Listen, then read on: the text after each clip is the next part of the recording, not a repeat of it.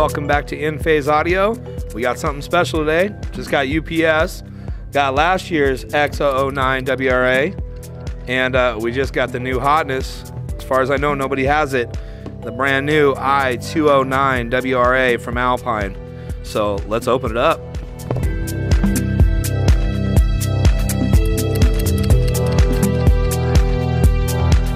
All right, Phil. First thing I noticed, man, big box with a whole bunch of stuff in it, man. Let's see what we got.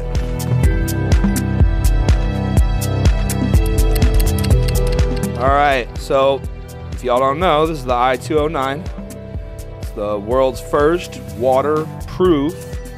Uh, it's IP IP53, in case you were wondering. World's first waterproof uh, car stereo. So we got specially designed for the JK Wranglers. All right, so um, Apple CarPlay, Android Auto built on board. Um, comes with a super cool Mac. I love the way that looks. It also has the Maestro on board, so as you can see, it'll interface with the gauges on the Jeep. You can monitor pretty much any gauge that's monitored by the factory computer. So everything from exhaust temp to fuel to throttle position to whatever. So if you don't want a pillar full of gauges, that's a killer alternative. Plus, there's no need to add any additional sensors. Everything's there from Jeep. The other cool thing, now that's an optional accessory, but they sell this thing called a 001. And what this does is this gives you up to eight programmable outputs. So if you want to control the light bar on your Jeep or the winch on your Jeep or whatever, and again, you don't want to add a whole pack full of switches, uh, everything can be run off the touchscreen of the unit itself.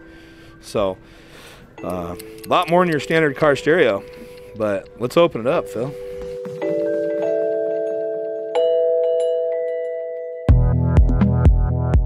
All right, so it looks like we got three separate boxes in here.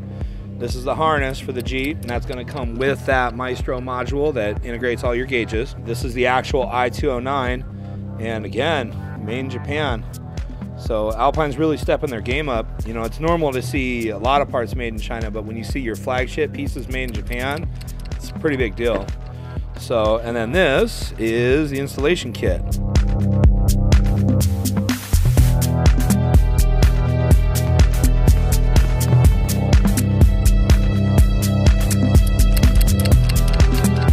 That's sharp right there.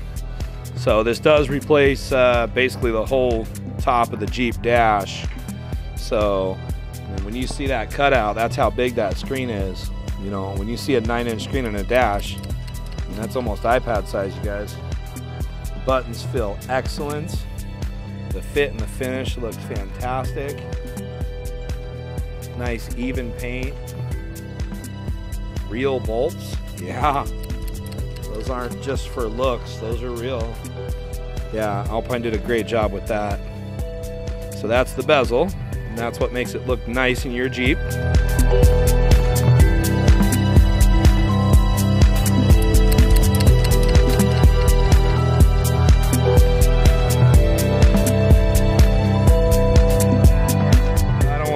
It all the way, Phil, but mean, that's what a car stereo should look like. There's the what it's going to look like, finished product. Kind of give you a reference for size. If you got a Wrangler, come on down. Get it. You can be the first. 19.99. Come and grab it.